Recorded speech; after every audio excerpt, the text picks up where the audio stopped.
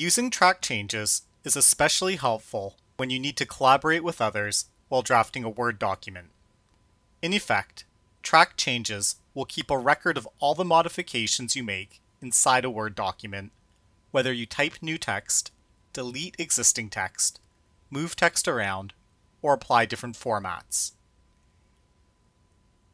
Here I'm going to use a preliminary draft of one of my assignments from my property law class during my first year of law school.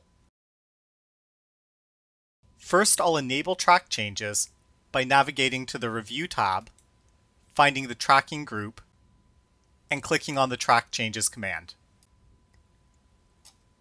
You can think about all the work I do from here on out as provisional changes that I have not yet committed to.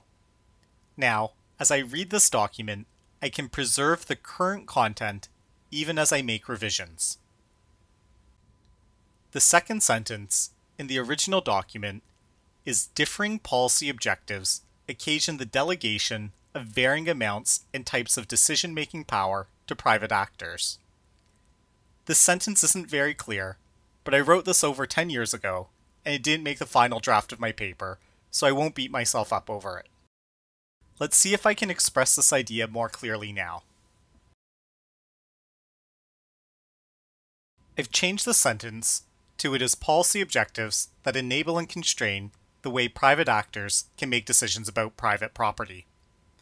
I still don't like this, so let me try again. Now I have policy objectives enable private actors to exercise power in different ways.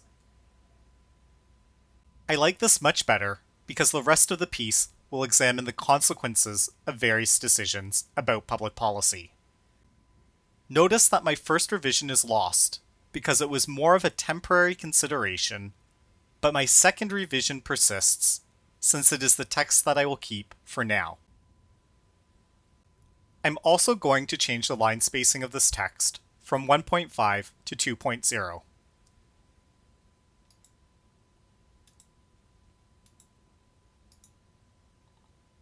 When working in track changes mode, the interface becomes cluttered with extra information that may be distracting to you as you continue to write. If you would like to remain in track changes mode, but see your work in a more traditional way, on the Review tab, Tracking Group, change All Markup to No Markup, which will show you the most up-to-date version of the document, even though the changes have not yet been formally accepted. I'm going to leave all markup on for now.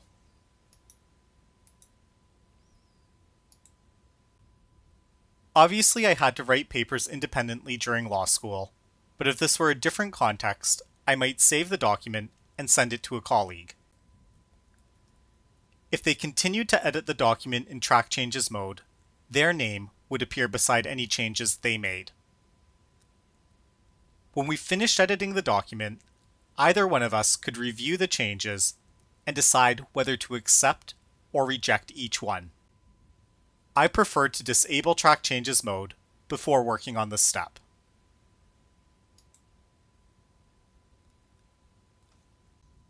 To get started, I'll click on the next command in the changes group. My first change becomes highlighted and I can choose whether to accept it or reject it. I already know I like the change I made to the second sentence, so I'll accept it. I'll click Next again to carry on. Let's imagine that for whatever unknown reason, one and a half line spacing was better than double line spacing, so I'll reject the change that I made. Track changes mode takes a little getting used to, but it can be a valuable tool because it helps to preserve evidence of your thought process as you work before you finalize your document.